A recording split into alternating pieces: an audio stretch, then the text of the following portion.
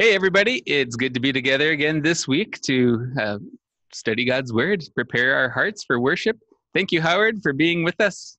It's good to be here. And every week I say, oh, this is so interesting. but it, and it is. But they, they really are, once again, the, the, the merging of Old Testament and New Testament and coming together in Paul's letter to the Romans. It's, it's just, I've just loved this. So Yeah. look forward to sharing it with, with So you, Stephen, and whoever is online with us. Yeah, well, and in addition to our our good hour that we spend together studying the three main lessons of the day, I've put together uh, a guide that can be downloaded from our website that has you know, tidbits, a memory verse, uh, the psalm, and some other you know, a hymn each week. That um, I, I did that with my family in mind. We homeschool our kids and teaching our children uh, prayers, the catechism, scripture is something that we want to weave into our uh, our intentional, structured time as a family, but also to connect it to worship is something that uh, Yeah. is a blessing. So you can download uh, what I've put together, and I'm gonna I plan on doing that every week, so that whether you're at your dinner table or bedtime prayers with your kids, uh, you can sing the sing the psalm. Uh, I mean, uh, say the psalm or sing the hymn, or and usually there's a a portion of the small catechism that's uh, relevant to the theme of each worship service. And so uh, today, uh, this week, the portions of the catechism I went ahead and threw in the commandments one and two, and I think you'll see why as we go. Let's go ahead and pray, and we'll get started with our study of the Old Testament lesson, epistle, and gospel lesson. Lord Heavenly Father, we thank you that you give to us your very presence, your Holy Spirit that uses your word to work your will, uh, to show us our sins, to lift us up with your good news, and to uh, strengthen our faith and uh, prepare us to serve you. So, Lord, we pray that you would do that through, uh, through your power, uh, through your word, by your Holy Spirit today as we look to, to your scriptures. We pray in Jesus' name. Amen. Amen. Well, the first lesson uh, is without question one of the most interesting and challenging books in all of the Holy Scriptures, uh, because where we are today uh, is uh, uh, is in the book of Job.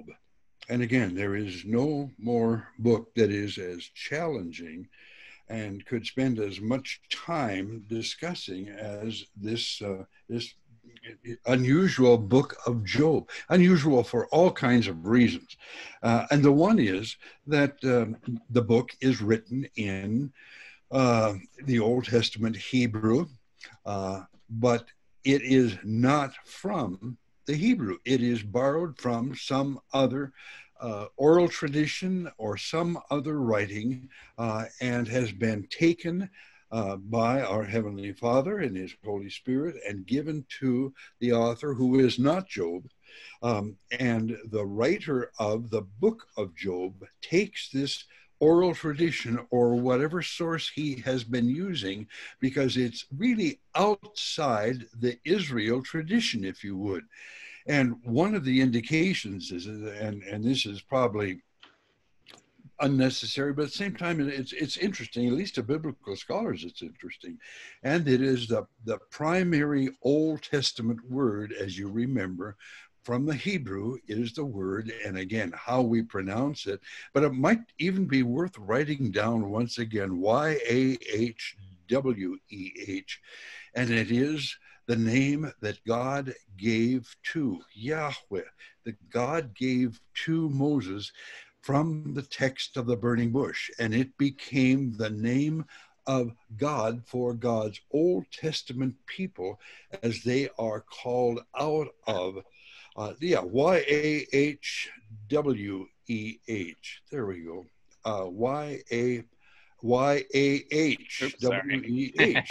There we are. There we are. There we Yahweh. are. And, and again, how we pronounce it is really a somewhat of an unknown because the ancient Hebrews and the Jews as well are extremely closed, closed lips and very, very, how would you say it? Very, very economic. They don't use that word often. They will use other words for it. But the name is Yahweh, and it is a word that is throughout the world, throughout history, and certainly throughout Old Testament and New Testament, the word that we translate I am. Everything that exists, everything that ever was, everything that will ever be, everything and all creation is summed up in this one word for God, Yahweh 25 times. However, it is never used in the conversations between Job and the three friends of his, I guess you could call them friends, who challenge his understanding of his illness, his understanding of his incredible loss, family, money, land, everything. He loses everything, as you may remember. And um, uh, and this word is never used by the three the three persons primarily um, who who speak and challenge uh, constantly challenge Job as to why he thinks he is has lost everything and what they understand. As it turns out, they didn't understand anything. But that's another subject for another time. But anyway, the book of Job is a rewrite, if you will, in the Hebrew and was very early accepted in the Old Testament and the Old Testament canon. But again, it challenges, it challenges us maybe especially at a time like this, Pastor Stephen, a time of COVID 19, where it seems that everything is going wrong, has gone wrong in the life of Job, and he becomes almost um, a, a, a living, breathing uh, example of or model of how one lives at a time where everything seems to be going wrong. Well, let me read this, okay, and then we'll come back to it once again. It's at the end of the book, it's in the 38th chapter uh, of the book of Job all the conversations have gone on before. And now, at the end of this book, there is a young man by the name of Elihu who tries to summarize, maybe, uh, and put the best possible construction on all the wisdom or total lack of it in these friends who have been conversing with Job throughout these first 37 chapter, uh, 37 chapters. Elihu gives probably the closest and the deepest kind of understanding. But all of a sudden, all of that stops now in chapter 38. And what we hear from is not humanity. What we hear from is not the friends, not even Elihu, a young man with a lot of wisdom. And what we hear from is not even Job yet at this point. What we see here in this part of the book of Job, the end of the book, we hear God Himself speaking. And so He speaks these words almost suddenly, almost suddenly. And the Lord said to Job, Where were you when I laid the foundation of the earth? Tell me if you have any understanding. Who determined its measurements? Surely you know. Or who stretched the line upon, uh, let's see, I can't see that last word there, on what, it, verse 6, on what its basis sunk or who laid its cornerstone. Verse 7 When the morning stars sang together and, and uh, all the sons of God shouted for joy. What God is doing at this point as he speaks to Job is putting the universe and Job's place in it in a kind of perspective. Job as you come with all your questions, as you come with all of your wisdom, as you come with all of those words laid on you by your friends, as you come with all of your losses, as you come with all of your needs, with your pains of body, mind, heart, and spirit, as you try to make sense out of this, Job, I want you to do this. Job, stand up like a man and speak to me. Stand up like a man, if you can, Job, at this point, and listen. And there's a kind of a, a beautiful uh, expression, I think, that when God is speaking to us about our sins, we stand up and we take it like a man, if you will. We stand up, we confess, and we listen to his word. There is a time to fall flat on our face. I'm not sure it's when we are confronted with our sins, that's a time to stand up and listen, a time to face up. There is a time when I at least fall on my knees or fall flat on my face and I would commend it. And that's when I want to praise God. That's when I want to say thank you. That is when everything in my life stands before God. So, what I'm confessing my sins, and this is what God is essentially saying to Job when you confess your sins, stand up and take your sins, offer them to God, and hear his word. His word will always be a word of judgment, I'll always be a word to stand up and take responsibility, but finally, it will always be a word in Jesus Christ I forgive you. You are my daughter. You are my son. You are the one I love. I will never let you go. So that is behind, in a sense, it seems to me, what God is saying, what Yahweh is saying now to Job.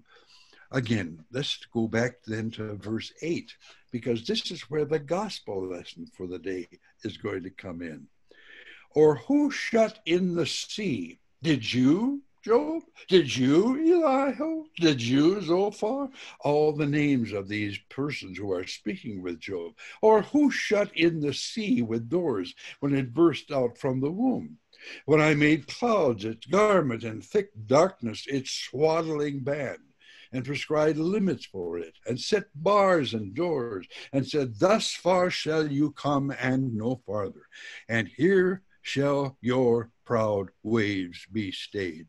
And God is speaking these words about the oceans, uh, about the world that He created with His word and with His hand.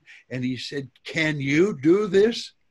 Do you understand what I'm saying to you? Do you have any concept at all how all of this came to be, Job? Verse 12. Have you commanded the morning since your days began, and caused the dawn to know its place, that it might take hold of the skirts of the earth, and the wicked be shaken out of it? It is changed like clay under the seal, and its features stand out like a garment. From the wicked, their light is withheld, and their uplifted arm is broken. Have you entered the springs of the sea, or walked in the recesses of the deep? Have the gates of death been revealed to you? Or have you seen the gates of deep darkness, Job? Have you understood? Have you comprehended the expanse of the earth? Declare if you know all this. Well, this is kind of uh, as as uh, uh, the lections and the lessons for the day come to us this is kind of just a taste if you will a foretaste of what is going to come to us in the gospel but if you are going to read the book of job and we read just this sliver for this Sunday, which should get the juices flowing that says, No, I didn't know any of this. I didn't do any of this. I may be an expert in the range of the universe or what is happening, but I can't answer one of these questions.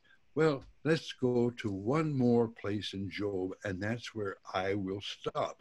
And that is, and the, it's Job, and you know already what it is, Stephen.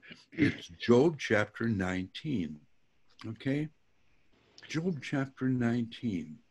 And if you would go down in Job 19 to verse 21, you would hear and read these words of Job. 21. Have mercy on me. Have mercy on me, O you, my friends, for the hand of God has touched me. Why do you, like God, pursue me, my friends? Why are you not satisfied with my humanity, with my body, with my flesh? And now these words. As Job, it seems, lifted up his heart to God, or God lifts his words and places them, breathes them into the mouth of Job.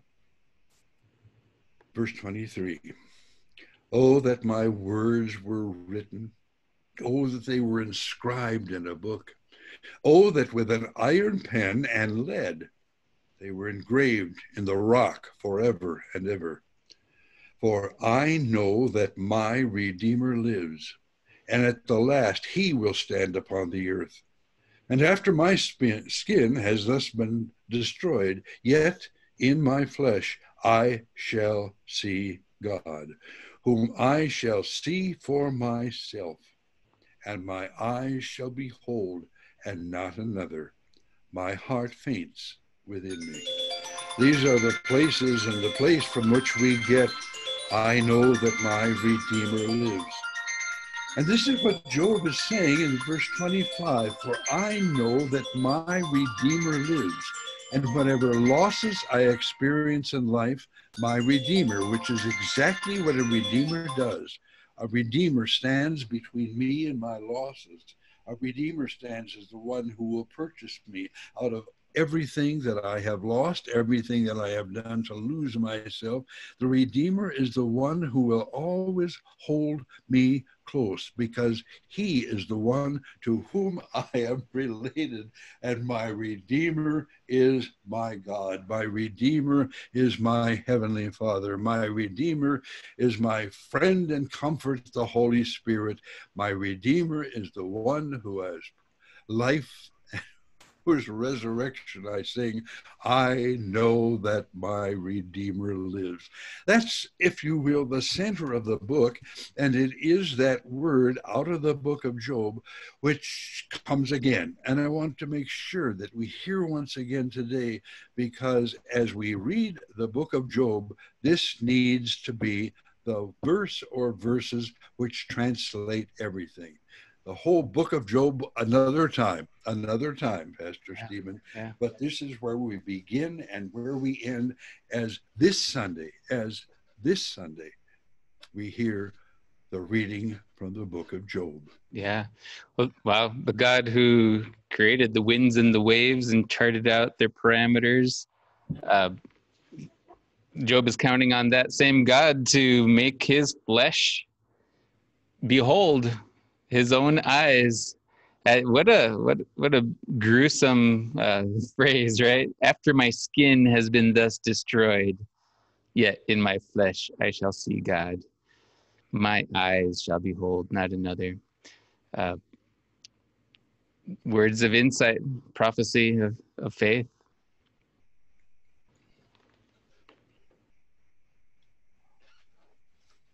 Yeah, yeah. Yeah, and we'll pick it up once again when we get to the gospel for the day. Uh, just wait a second, because we got to go to the epistle for the day before we get to the gospel. Mm-hmm. Um, uh, and again, uh, this morning we're or this afternoon actually for us uh, here as as we record this um, uh, we're once again in the book of Romans. Remember St. Paul's letter to the Church of Romans, and I think now this is what the sixth or seventh uh, reading uh, from the epistle in a row. So we've gone through uh, a good share of Romans, um, and last week we got into in chapter 9 we got into st paul's great lament for his people and his his strongest strongest emotional and spiritual desire that they might come to know their savior who is jesus christ. And so he writes this to the church in rome both the gentiles and now the romans. And we're still for the chapters 10 11 and part of 12, 9, 10, and 11 especially, they are all written uh, over against the background of his love for his fellow kinsmen, the Jews, and of his deepest passion and desire that in his mission and in his life in Christ and in his witness from Christ and to Christ and in his life that the that the, the Jews to whom he's speaking would come to know what all the Old Testament has been saying all these centuries. And so now he's talking once again both to and about his Jewish brothers and sisters, as well as the whole world around him. Verse 5 of chapter 10 Moses writes about the righteousness that is based on the law, that the person who does the commandments shall live by them. But the righteousness based on faith says, Do not say in your heart, Who will ascend into heaven? That is to bring the word of God, Christ, down. Or who will descend into the depths, into the abyss? That is to bring the word of God, Jesus Christ, up from the dead. But what does this word of God say? This is what it says The word is near you, it is in your mouth and in your heart. That is the word of faith that we proclaim. Because if you confess with your mouth that Jesus is Lord and believe in your heart that God raised him from the dead, you will be saved. Now, a couple of weeks ago, when we were reading, and the gospel lesson for the day was Matthew 13, we saw Jesus speaking to his disciples about the parables and why he uses parables.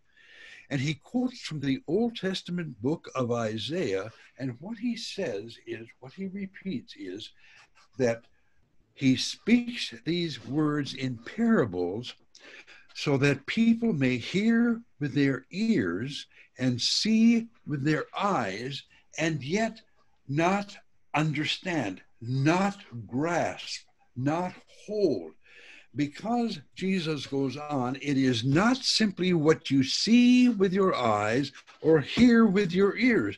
This was the problem with the God's Old Testament people and why Isaiah was called to speak to these people.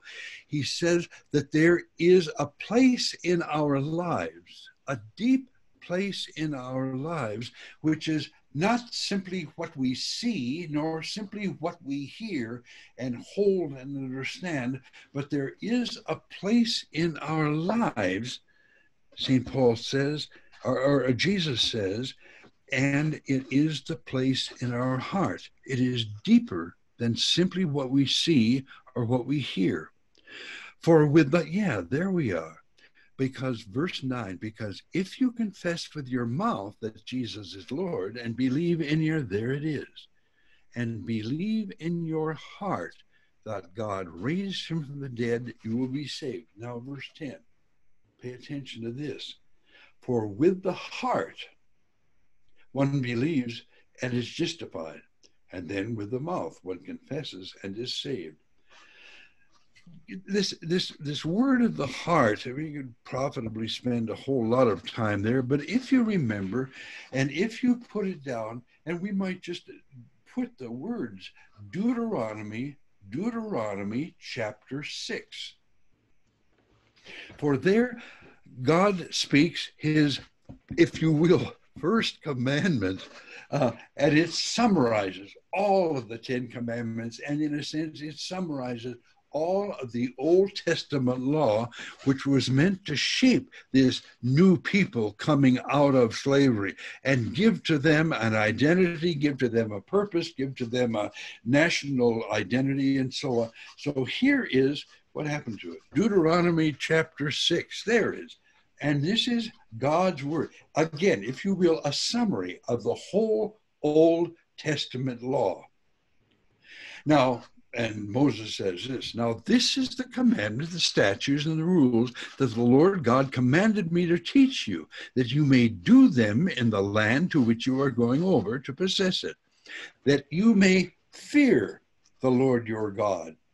And there is two concomitant words, or two words which either are part of or breathed into or come out of that word, that you may fear. And the first is, and this comes out of Luther's small catechism, that you may fear, love, and trust. And there is another word there too, that fear implies, fear means to obey. Fear means, in this case, to love. Fear means to trust, okay? That you may fear, love, trust, and obey the word of the Lord your God, you and your son and your son's son. Okay, now,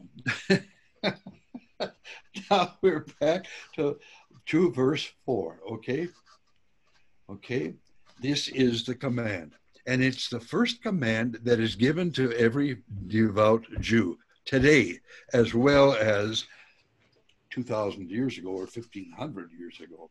Hear, O Israel, and the way it comes out, Shama ha Israel, listen, hear, O Israel, the Lord our God, the Lord is one. And you shall love the Lord your God with all your, there it is, with all your heart, first of all, with all your soul, and with all your strength, with all your might, with all your body. So Moses addresses these words given him by God, the words of the covenant, the words of the commandment, and the introduction to this commandment. You shall love the Lord your God with all your heart, with all your soul, with all your strength.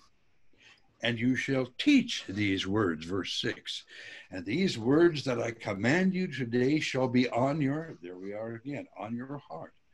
For the ancient Jews, as well as for the Jews at the time of our Lord and the way that our Lord speaks to all the people, not simply the Jews, and that is your heart is the seat of your emotions held together and touching your soul. This is the place which faith comes out of, not simply out of your head, not simply out of your body and what you do, but it comes and sinks into your heart and verse 7 then and you shall teach them diligently to your children shall talk of them when you sit in your house and when you walk by the way and when you lie down and when you rise and you shall bind them as a sign on your hand. Ever seen they're called the prayer phylacteries, and there is a little box, and inside that little box that is on your hand, and they shall be as frontlets between your eyes. If you've ever seen a devout Jew uh, serving at the western wall, the wall of wailing and the wall of prayer, you will see the prayer shawl, and then you will see these prayer phylacteries, both upon the hand, upon the arm bound, and also on the, looks like a little black pillbox. And inside both of these boxes are these words Hear, O Israel, the Lord our God is one, and you shall love the Lord your God with all your heart, with all your soul, and with all your might. And if you get that one right, you pretty much live in this relationship with the God who has so loved you. Verse 8, once again. You shall bind them as a sign on your hand, and they shall be as frontlets between your eyes. You shall write them on the doorposts of your house and your gates. Okay, that's what St. Paul is talking about when he says the first and greatest commandment is in your heart. Now, if you would turn also, we don't need to do it right here. Well, maybe Mark chapter 12 Hey, can you get pick up that easily? Yeah. This is this is that marvelous story in Mark's gospel about the wise, wise man. He's a, he's a lawyer, and he comes to Jesus. And um, let's go on down. Let's go on down a little bit further. Uh, past uh, a little bit further, a little bit further, a little bit further. There we go. The great commandments. The great commandment.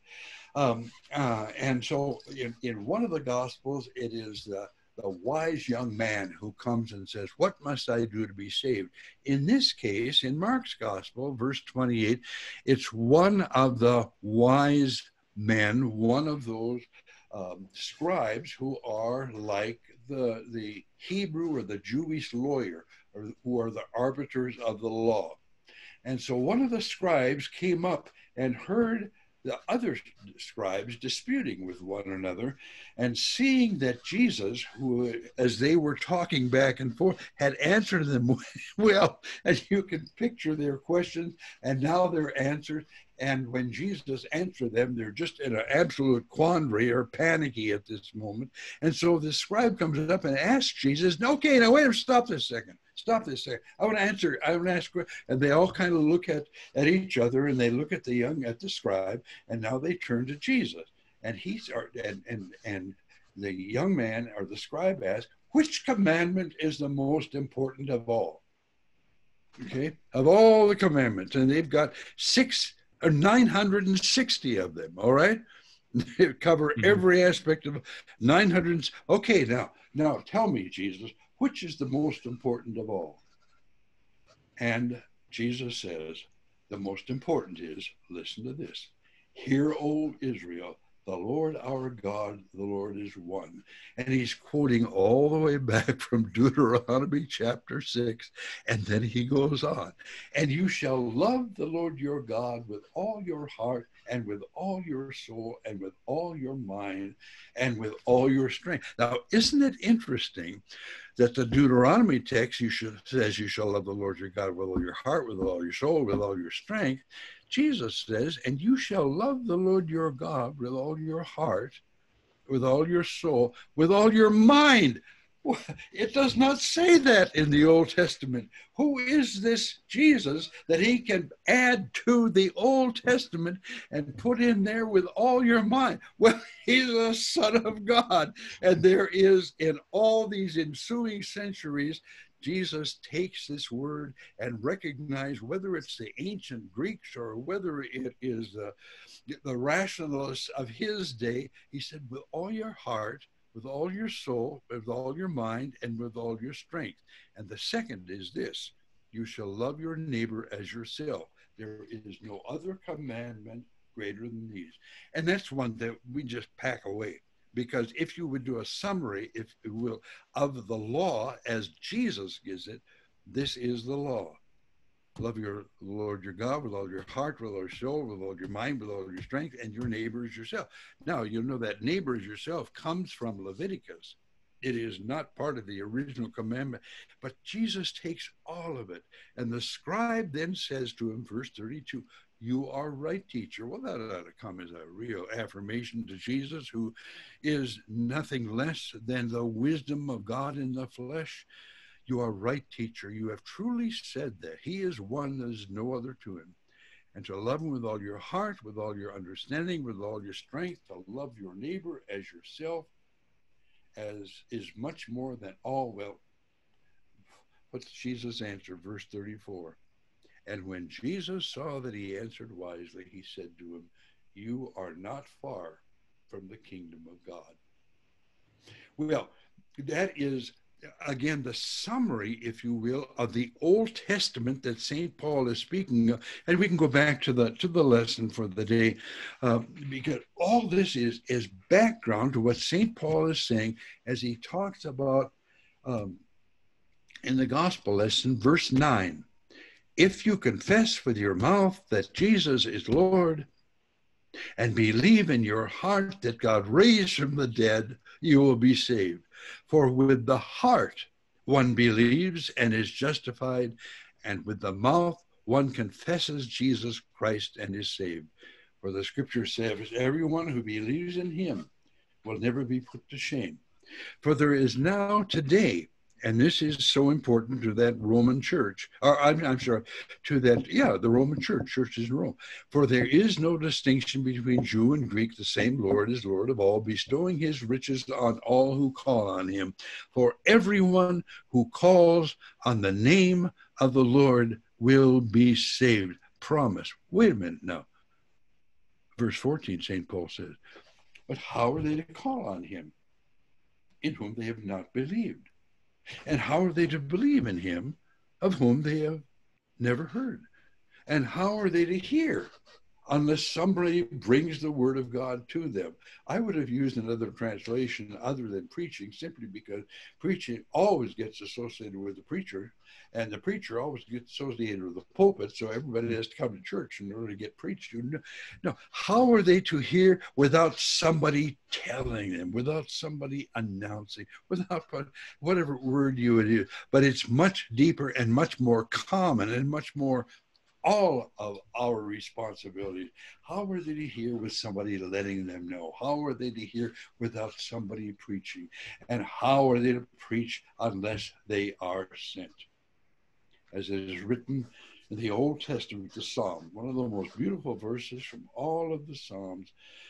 How beautiful are the feet of those who preach the good news. The Psalm is from Isaiah, incidentally, not from the Psalms. Verse 16.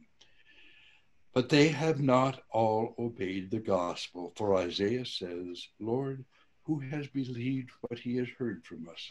So faith comes from hearing, and hearing through the word of Christ. This is now word from St. Paul to the church in Rome, and now especially to this, this growing church, which is both Gentile, all the nations, and Jews, who are those special people God has chosen to be these proclaimers and to bring the word all over. Yeah, um, you could say a whole lot more, but probably get to the God. There we are. There we are. There we are.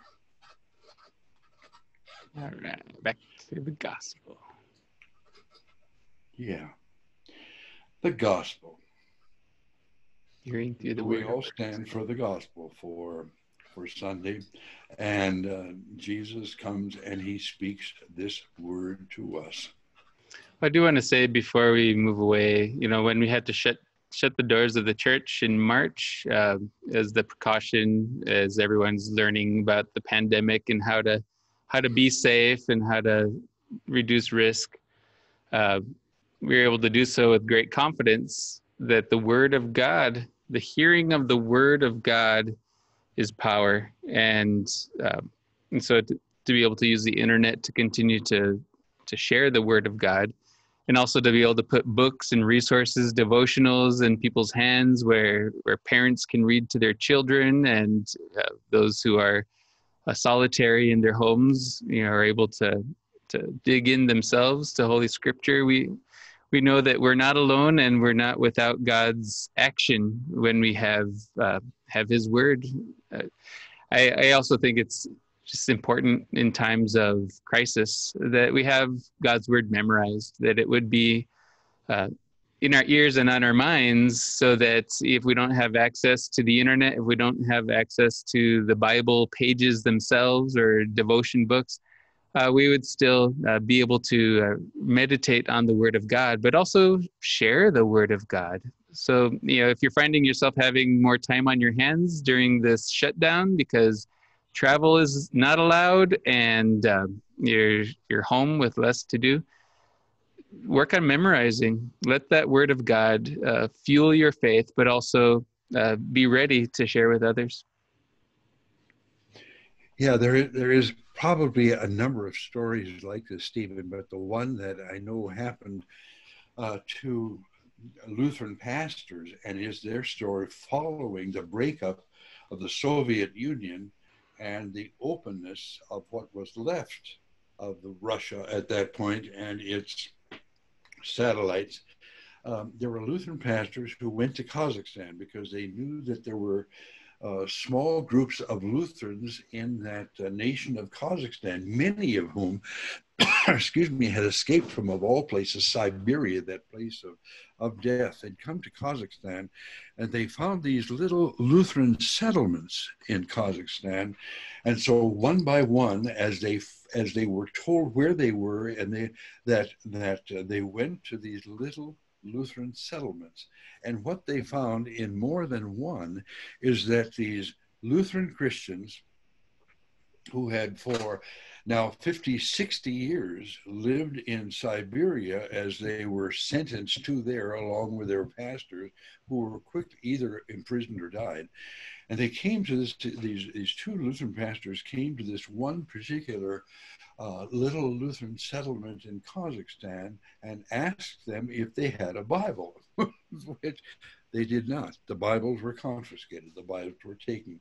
But what these Lutherans did do is went into the cracks in the little houses they were living in or huts they were living in, or went and uh, found under their mattresses little odds and ends that they had put together of the Holy Scriptures. And so they were able to assemble, handwritten, they were able to assemble Bibles of a sort which were drawn from the memories of these Christians, and that were their holy scriptures, that which they had memorized. Now, God willing, that will never become a necessity in our lives, But what is necessary, it seems to me, is to, and you speak of memorizing, uh, uh, again, one of the great blessings I had to do, and you have to do, that's a great blessing, even though it may not seem like it at the time, is that the, the memories take this word of God and in mind, yeah, and body, yes, but finally they are put into the heart.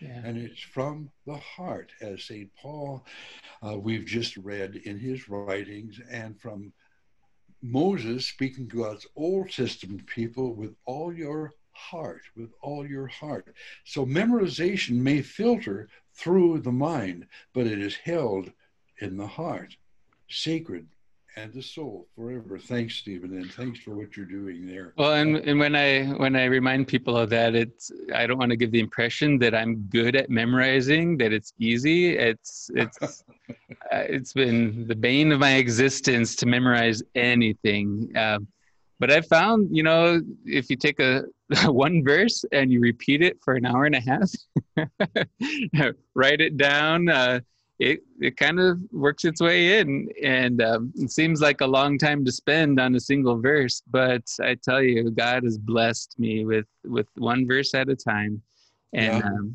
uh, so I just want to encourage people toward that. And, right. and, it happens has happened so often in my life. when the Word of God, but all of a sudden the passage is there, and I say, where in the world did that come from? I didn't even know I knew that. Yeah, and maybe yeah. I did. Maybe it was just the whole world of the Holy Spirit who takes His Word and breathes it into us in ways that we don't even know.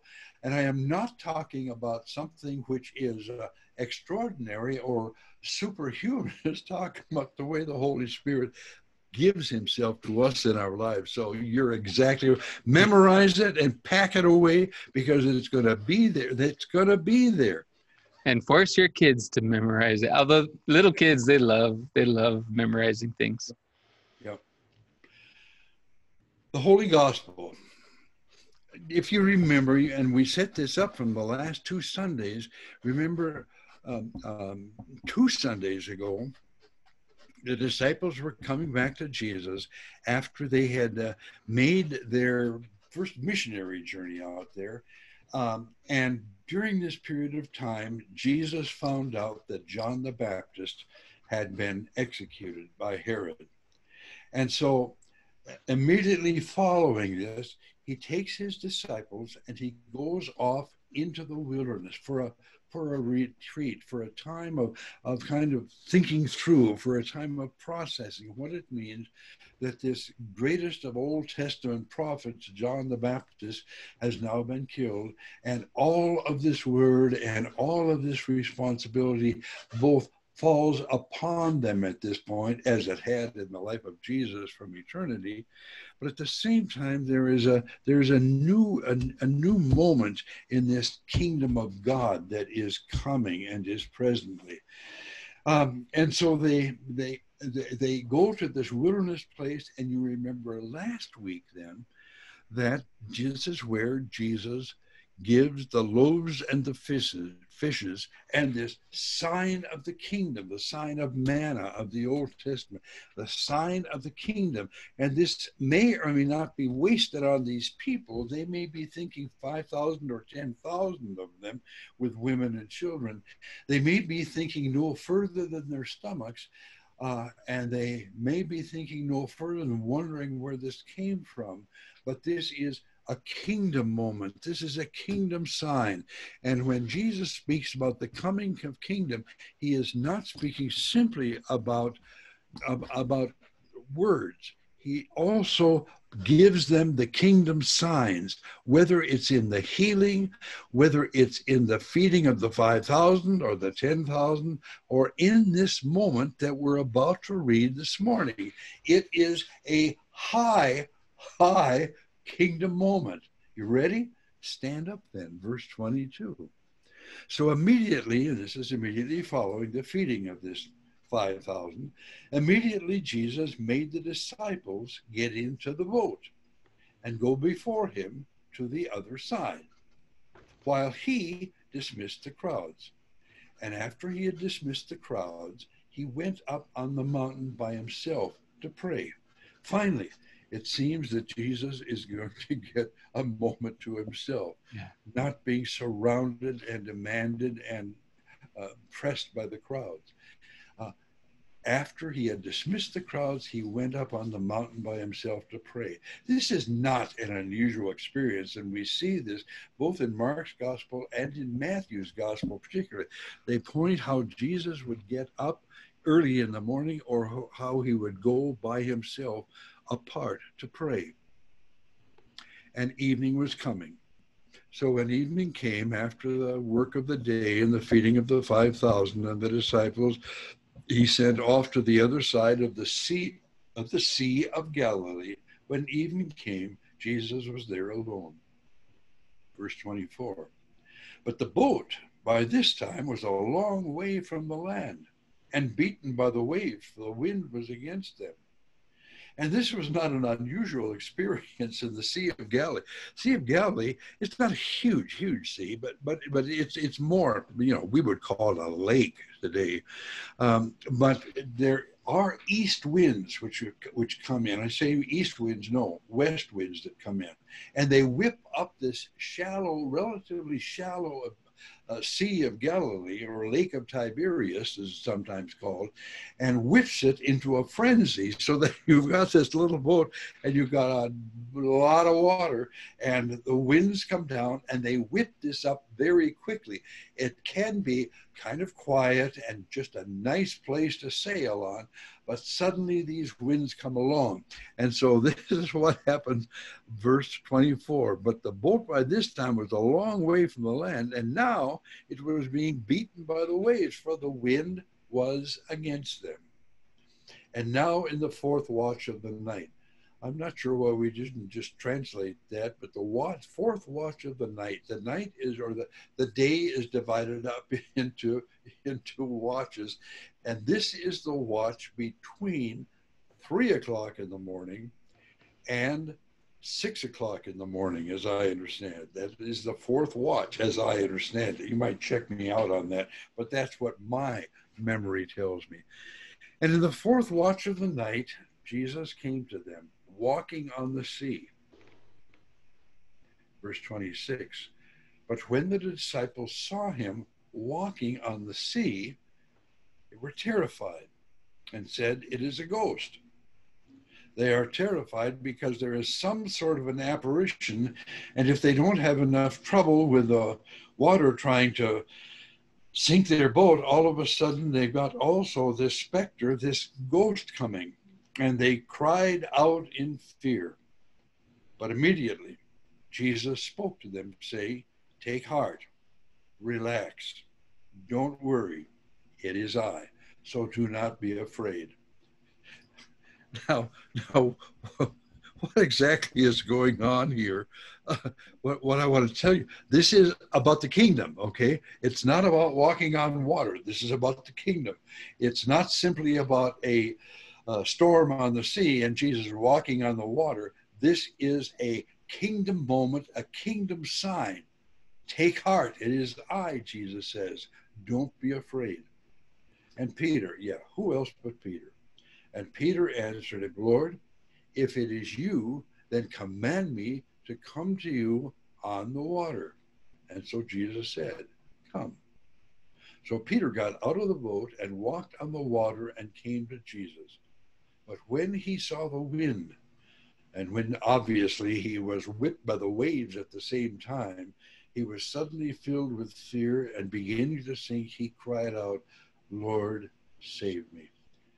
And there is so much packed into those words for you and for me today as we try probably not to walk on the water, but as we have to in these days in front of us, sometimes I think live with so little or live with so little of what our coming financial support is going to be or how we're going to make through through this and where we are terrorized by the by the idea that the COVID 19 is also the world around us and one in which we wonder whether or not we can survive, whether we cry out, oh, yeah, there's the picture.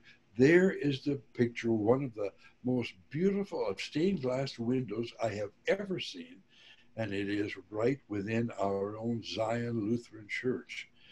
And it's the wind, as I re, or the window, as I remember, is dedicated to Anne Louise Popol not to our Anne Louise, who has gone to heaven about three, four years ago, but to her, uh, I believe it's her aunt. Uh, anyway, it, it is one of the great windows set in uh, Zion Lutheran Church, which gives so much life and love as we watch the evening or the morning sun come in through these stained glass windows. Lord, help me, help me and the word is come, come, come to me.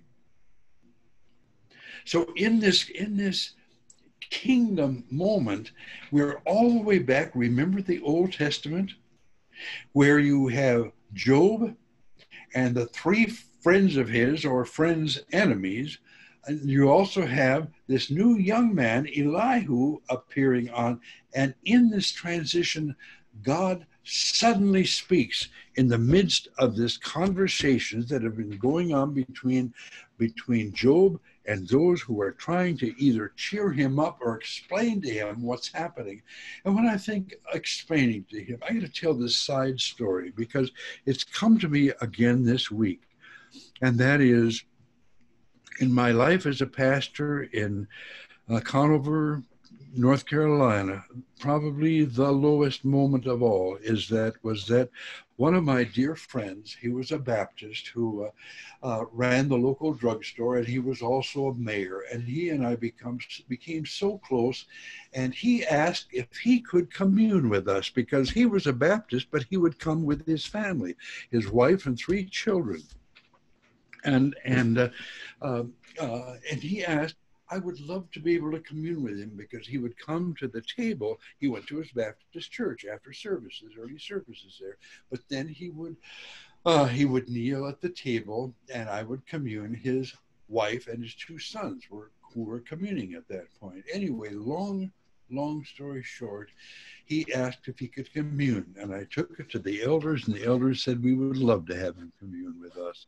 And so I will never forget that first Sunday when he uh, communed with us at the table. There wasn't a dry eye in that large congregation, I think, because everybody knew their mayor, everybody loved their mayor and respected him.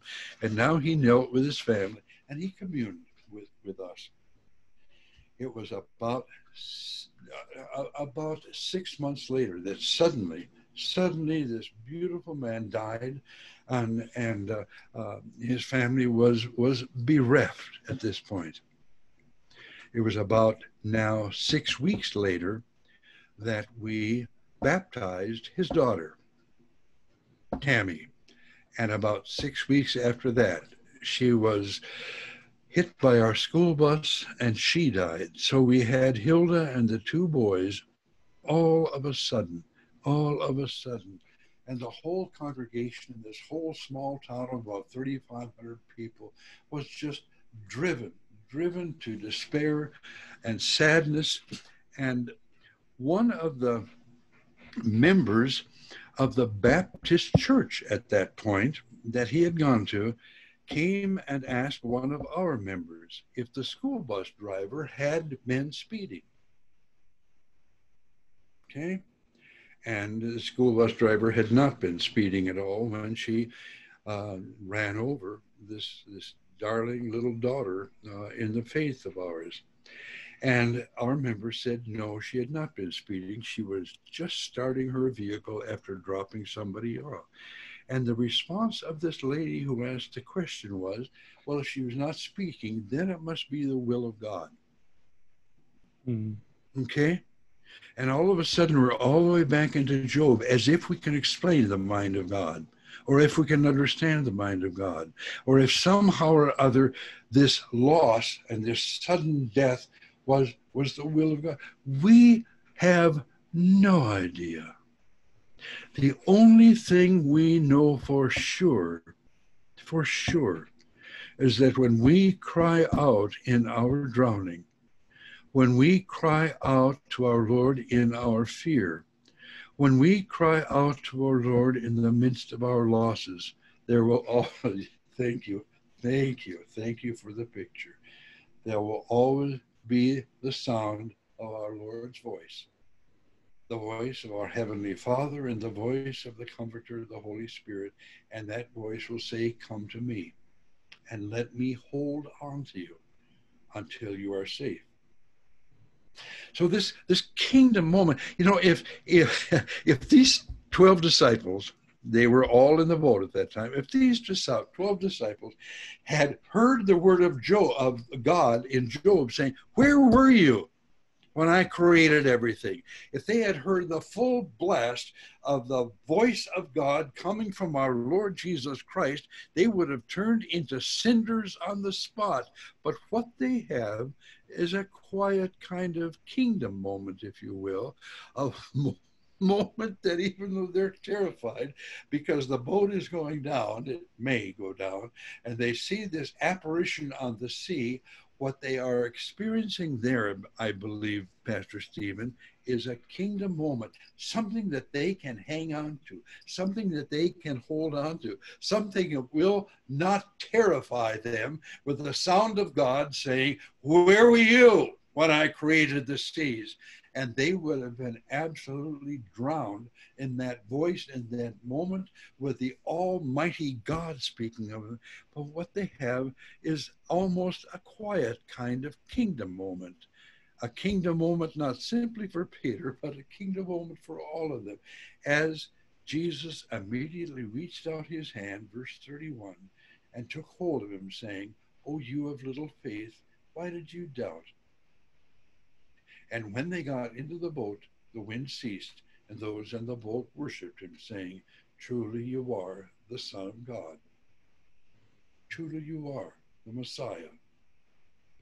For the signs of the kingdom are all there, whether it's signs in the healing of the deaf, dumb, blind, and lame, whether that kingdom is in the voice of God as he teaches us you shall love the Lord your God with all your heart, with all your strength, with all your mind, or whether it's in this moment where there is not a kingdom moment so much in the healing or in the words or is in the life of the Son of God who simply walks on the water and announces to them in no uncertain terms, I've got the whole world in my hand.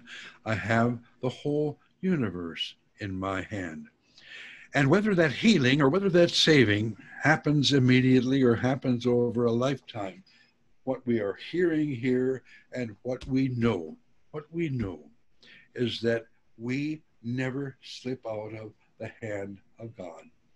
And he says to us in this moment as we listen to this lesson, what he says to us in the moment as he bids us come to the table to receive his body and blood, whether we, we, we hear this moment in the fact that he has said to us in our baptism, Come, come unto me, all you that labor and are heavy laden, and I will give you rest. This is kingdom moment. And when Jesus speaks and we read his word right here, right now, whether it's whether it's live streaming, Pastor Stephen, or whether it's with that small gathering, or whether it's in the, those moments that shall be in front of us when we will sing at the top of our, our top of our lungs. Uh, come to the kingdom, come to the kingdom, come to Zion. Truly, you are the Son of God. Thoughts? Yeah, you know, when when Peter makes this request of Jesus, you know, seems to be Peter's character to be so bold. But and Peter agrees and he walks out. But the question itself just you know, my mind goes to Satan in the wilderness testing Jesus, you know, just challenging Jesus to display uh, miracles of sorts and uh, to to rely on the power of God for human survival and but but Peter gets out and he walks, and um, so it seems to me like this isn't a a challenge uh, to Jesus. It's a it's a request of Jesus that's rooted in in true faith. And Peter jumps out and he walks, and Jesus keeps him above the water. And and so then when he begins to sink, well, the you know Jesus calls to points out the faith issue and the doubt issue. But that but Jesus grabs hold. You know, Peter's sinking and he's uh, Jesus reaches down and, and holds him up. But what is interesting thing that it's not until the two of them walk back across the water, or maybe Jesus is carrying Peter across in his arms. It, it doesn't tell us that detail, but it's when they get back into the boat that the wind dies down and the the water becomes calm. So don't see it described and so we don't see depicted you know that journey across the the windy surface of the water back to the boat. But i think a lot of us are are in that that we are we've called out to jesus. Jesus has grabbed hold of our lives and we're we're heading forward. And um, the wind is still blowing and we we have a lot of reasons to be afraid, but, but Christ has us in His arms. So, you know, praise God that He uh, He does save us, and He is near enough to reach down and grab hold of us. Well, there is such a, an, an, a world, a universe of difference between the Old Testament lesson, where God speaks about the universe, about the universes, about the sun, the moon, the stars, everything else that surrounds our little corner of the universe, but such an ex- extraordinary, extraordinary, unbelievable distance between what God says to Job and what he says to us in our Lord Jesus Christ. Yeah. But both of those are moments when God speaks and the kingdom is coming. The kingdom has come. And now, once again, it seems to me for us today in this time that seems to be so unkingdom-like and so unking-like that God says to us again, quietly, quietly in His Son Jesus, come. Yeah. Come. Yeah. Well, we want the Lord to hold on to us. And so this is the window that's dedicated to the. Oh, oh to that's the. the uh, it's very similar. That's, yeah. that's, yeah. Yeah. Yep, to memory of Louise Pofall. Whoa. And it's, um, of course, not Jesus clinging to the cross. It's us, the church, the, the woman holding on to the cross in the storms, but and she's on the rock, which is Christ. And that's, of course, the the psalm gives for this week gives reference to that rock. I want to put up on the screen here at the end uh, what I was talking about, what I've put together that can be downloaded from our website. And my plan is to do this for every single Sunday, where uh, from the service, I picked out something short that would be a memory verse. The Lord is my rock and my fortress and my deliverer. Psalm 18:2. And I don't have the video here, but my little two-year-old was saying that yesterday around the, the dinner table and i thought wow what a sweet thing but uh, just some some um, material that you can use in your family devotional time or your individual Oh, like- devotional time like- yeah. Beautiful, Steve. Thank you. fear love trust in god above all things the meaning of the first commandment you know call upon you know using the name of the lord properly call upon it in every trouble pray praise and give thanks. And then uh, there's a few other items. And i just i love this hymn. It's going to be in our sunday worship service. Um, telling our soul to be calm. You know it, it's all it's in turmoil for so many reasons but be still my soul. The lord is on your side.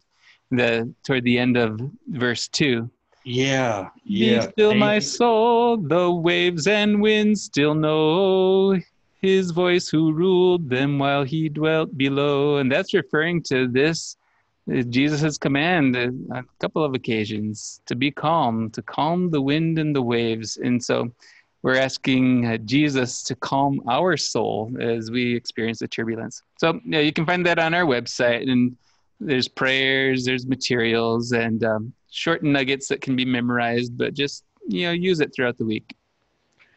And those last two lines I thought of all this week, um, and or all this week. We're only on Tuesday, but as I was thinking through these lessons for the Old Testament and the Gospel lesson today, they are, for my money, two of the most beautiful lines in all of Christian hymnody. Be still, my soul, the wind and waves still know him who ruled them while he lived below. That's Yeah, oh, yeah. that's great thank, thank you, Steve. Yeah. Thank Well, thank you. Uh, look forward to this every week. And uh, uh, before our next Bible study, of course, we'll have our worship service itself. So, uh, funeral service on Friday, Karma Smith, and please pray for all of them. Turbulent times for our spirits and our emotions. Um, praise be to God that we have our Savior Jesus. Thank you. Lord be with you, Stephen. Take care, y'all.